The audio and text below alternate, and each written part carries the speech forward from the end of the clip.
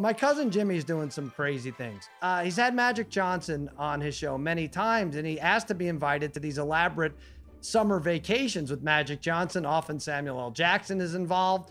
Um, Yeah. and it's often on a, a yacht, and he's never been invited. So what he's done is now he's now photoshopping himself into these vacation pictures. If you could vacation with a former NBA player, who would you most want to spend your time with? Would it be Magic Johnson, two to one odds? Would it be Shaquille O'Neal, four to one odds? Michael Jordan, seven to one odds? Dennis Rodman, 100 to one odds? Or the field, even odds? Uh, You know, I got a lot of choices here. Yao Ming would be hysterical.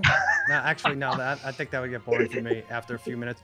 I, I might pick Muggsy Bogues because, you know, I'm not that tall. I'm like 5'10, 5'11. And I, if I'm taking pictures with these guys, I, I would want a shorter player next to me, right? But no, I think there's only one answer, and it's Michael Jordan. Because we would spend the would entire vacation just gambling on golf or who could set up a, a beach umbrella faster or how much the bill at dinner was. And we'd sit around we'd watch our ipads and smirk uh, in our off time. I mean I, I i just think it would be terrific. And i would get him to sign things whether he wanted to or not. We take that bill at dinner. If he charged signed it boom there we go. Put that on ebay. What did he do? He touched this. I, i'd make a fortune if he touched like a flip-flop a nike flip-flop. I'd Yeah. be all over it. So um Smart. pool noodle Come yeah, out of it we able to recoup your gambling losses no matter that's what. right So that's, That's smart. Financially Yeah. smart.